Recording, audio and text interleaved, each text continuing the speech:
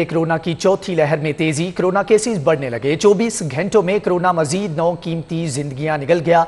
24 घंटों में केसेस की तादाद में मजीद इजाफे की पेशगोई की गई। कोरोना की चौथी लहर में तेज़ी आ चुकी है, जबकि नौ मजीद कीमती जिंदगियाँ कोरोना निकल चुका है।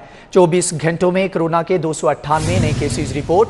कोरोना मुस्बत केसेज की शराब छः अशारिया रिकॉर्ड की गई है। आपको बता रहे हैं कि कोरोना की चौथी लहर में तेज़ी आ चुकी है। कोरोना केसेज बढ़ने लगे। 24 घंटों में कोरोना मजीद नौ कीमती जिंदगियाँ निकल गया। 24 घंटों में कोरोना के दो सौ अट्ठानवे नए केसेज रिपोर्ट।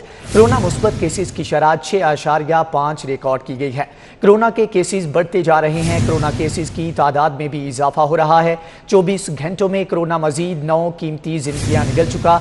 24 घंटों में कोरोना के दो सौ अट्ठानवे नए केसेज रिपोर्ट हुए। कोरोना मुस्बत केसेज की शराह छः अशारिया पाँच रिकॉर्ड की गई है, जबकि आवाम को एहतियात बरतने की अपील की जा रही है। कोरोना की चौथी लहर के पेश नज़र एस ओ पीज़ के ऊपर अमल दरामद को यकीनी बनाने के लिए इकदाम किए जा रहे हैं। कोरोना केसेज बढ़ने लगे हैं। चौबीस घंटों में कोरोना मजीद नौ कीमती जिंदगियाँ निकल चुका है।